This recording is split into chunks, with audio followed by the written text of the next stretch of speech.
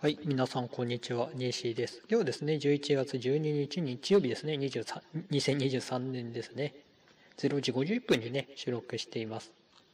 ヤフーの見出しが、ガザ病院、乳児39人が命の危機、キーウにミサイル、9月以来の攻撃。劇団員休止、宝塚は調査結果公表へ。自転車の中学生、車にはねられ死亡。次が首相が7回目接種。同時流行備え。えっ、と、次は大量閉店、1点バーガーキング躍進。次が宇野昌磨に4回転ループで転倒。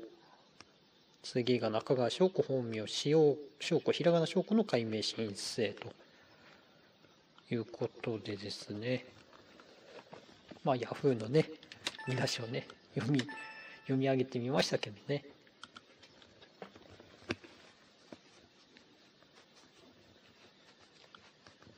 前はね、一時期これやってたんですけどね。その YouTube のそのニュースの読み上げ必要あんのって言われちゃいましてですね、やめてたんですよ。まあそうなんですけどね。やっぱね、自分がね、見返した時ね、なんか Yahoo のニュース読み上げてさ、そのニュース聞いて、ああ、そんなこともあったなってね、振り返られるのもいいかなと思って、また再開したんですけどね。まあ、あと、ウィル・クラークさんがね、コメント、よくコメントくれる方なんですけど、まあ、その人のね、アドバイスというかね、読み上げてほしいっていうね、コメントいただいたんで、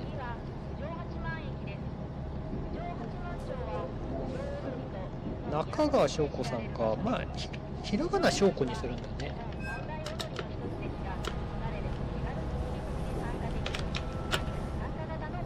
最近け去年だっけ結婚されたんですよね。ショコタンロスなんて言われてましたけどね。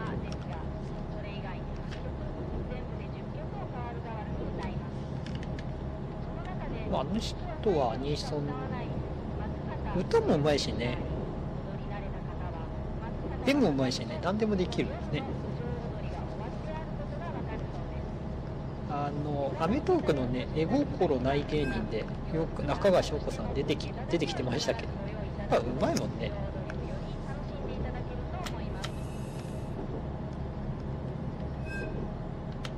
何でもできるっていうね。歌歌えてあやべこれ失敗したな。あーダメだ。あギリギリセーフだった。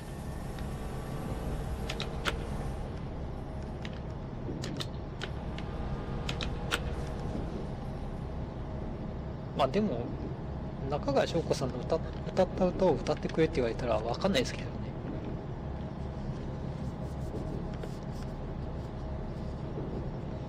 いくつになったんだろう？まだ38とかそんぐらいですかね。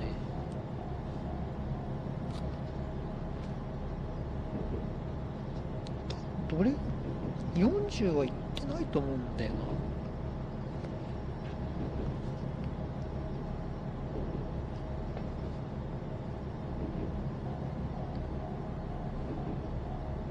うん。38歳か。まあ若く見えるねでも。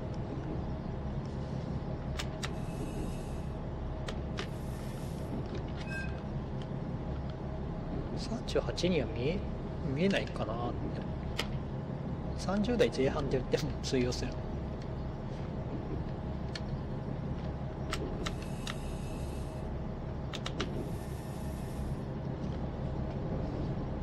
そう中川翔子さんのね、まあ、結構名前変える。錦野明さんも最初漢字の名前だったけどひらがなで錦野明になったんです。なんとなく覚えてるけど。あんまり解明したところでっていうね、まあ、芸能業界ってね。芸能界って、まあ、名前大きいのかなっていうのはありますけどね、まあ、政治家なんかはねあの有権者に投票してもらえるため投票用紙書きやすい名前にした方がいいっていうのでね難しい漢字の人はなんかひらあえてひらがなにひらがなの名前にして選挙ポスター貼るとかねそういうのありますけどね。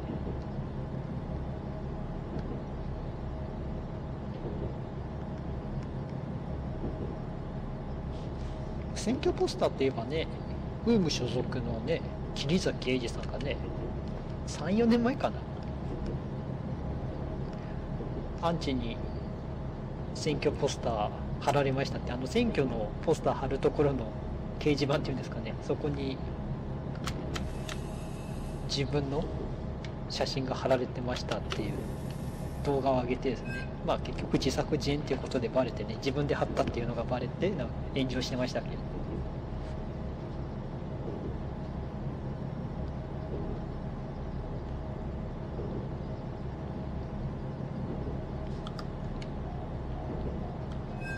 うん、結構ね、ウーム所属のクリエイターって結構問題起こしてんだよね。まあ、例えばね、あの、はじめ社長とかね、あの、雫石のね、異例の森ってところをね、心霊スポットと間違えてね、心霊スポットって言って、ふざけて動画撮りに行ったりですね、その桐崎英二さんもそうですよね。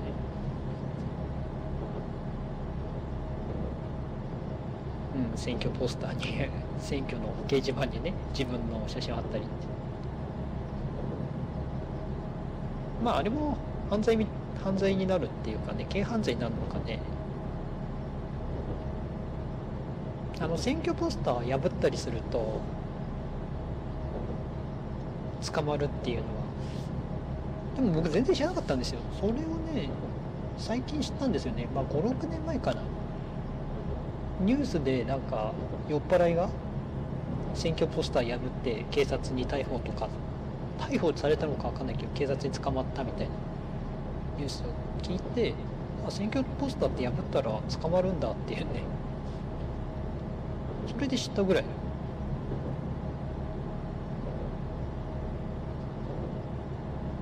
だって普通にね生活してて選挙ポスター破ってやろうって発想にならないじゃないですか。だから全然気にはしてなかったんだけど。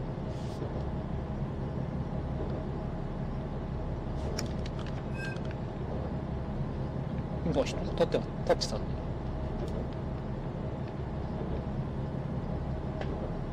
だからね。結構ね問題行動を起こしてね。る人がウームに所属してるっていうのはある。んですまあこれこれさんのチャンネルを見てね知ってるだけなんです。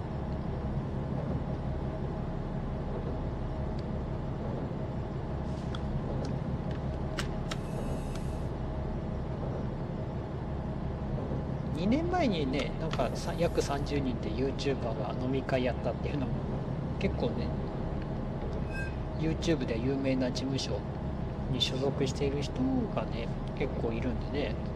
その辺の問題行為もありましたね。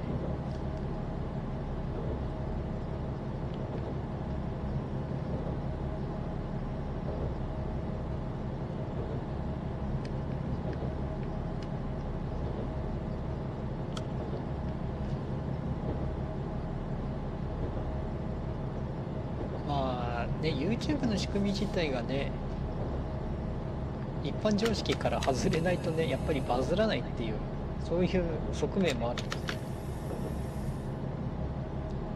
じゃあ長い時間かけてね種植えて綺麗なお花を咲かせましたって動画上げても誰も見ないですからね。それよりだったらねコンビニのあのアイスボックスに入ってねイエイとかピースしてね動画上げてる方がやっぱ悪い意味でねバズりますからでも YouTube ってそういう世界なんですよね。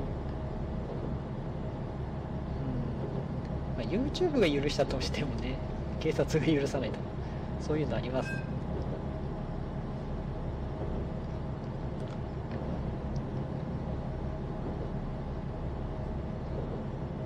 でもニュースもね似てるところがあるんですよね。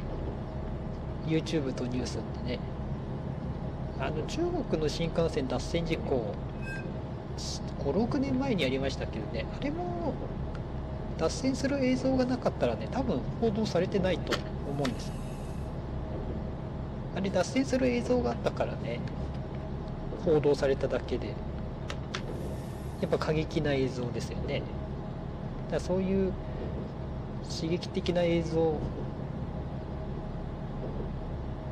を撮るか撮れ撮れないかで報道する報道しないっていうのがあるんでね。結構迷惑系 YouTube 迷惑系 YouTuber とねその民放とかね NHK でやってるニュースってちょっと似てる部分があるなっていうね。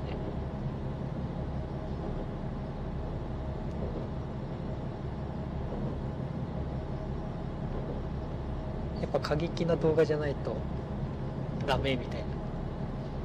ネタになんないみたいなね。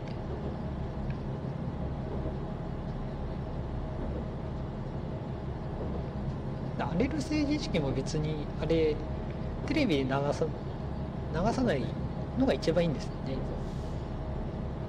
でもやっぱりね視聴者ってそういう変な動変なニュースやっぱり見たくなるじゃないですかね。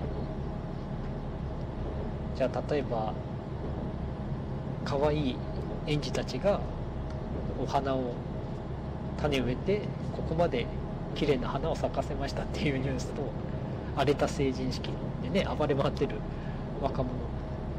どっち目引くかって言ったらやっぱり荒れる成人式の方が目引きますからね。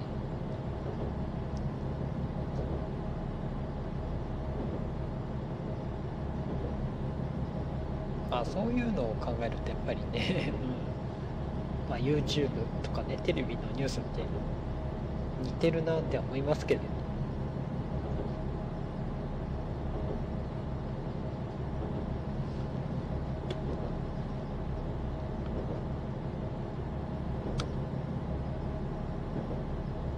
劇団員休止宝塚が調査結果表明。ああなくなったんですよね。宝塚ですよね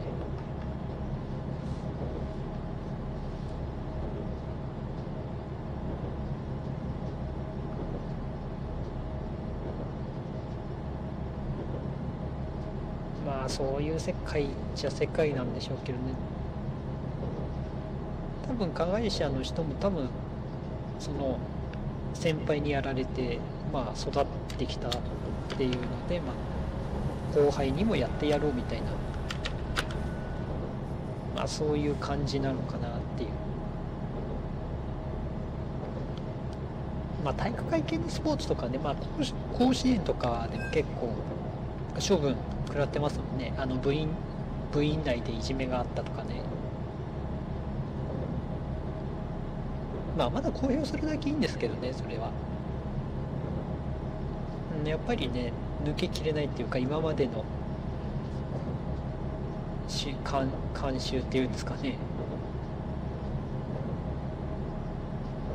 先輩にいじめいじめられて育ってそそのいじめられた人が先輩になってねまた後輩がっていうね。まあそういう流れってねなかなか、まあ、今だいぶ少なくなったとは言いますけどねだいぶなくなってきてるとは言ってますけど。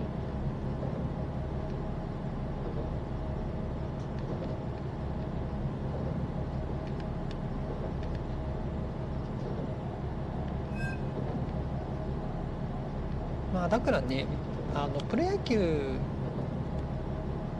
でもやっぱりあの、まあ、高校大学そう、まあ、いじめじゃないねいじめられてちょっと人間関係が合わず独立リーグ行ってってねでそこからプロになる人もいますからねプロ野球に入ってくる人もいますからね。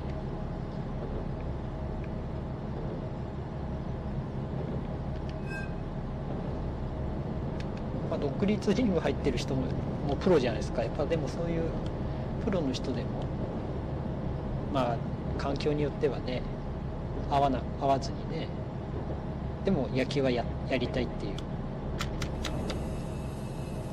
のでまあ独立リーグ選んでね入ってくる。そういう人も結構多いですよね。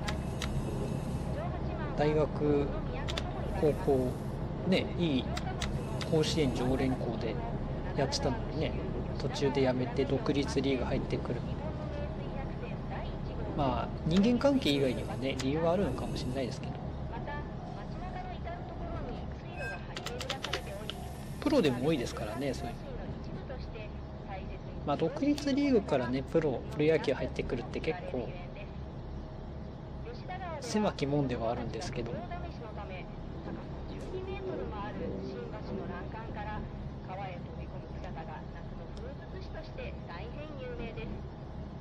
まあ、やっぱり人間関係とかねそれで学校を辞めて独立リーグで野球をやってる選手も結構多いです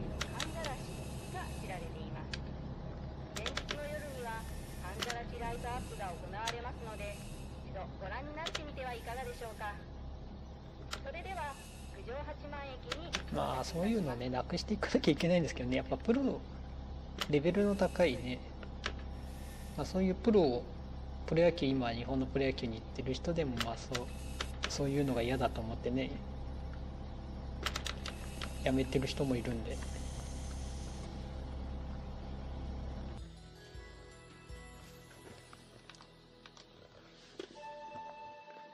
お、58点もう100点だ。すげえ。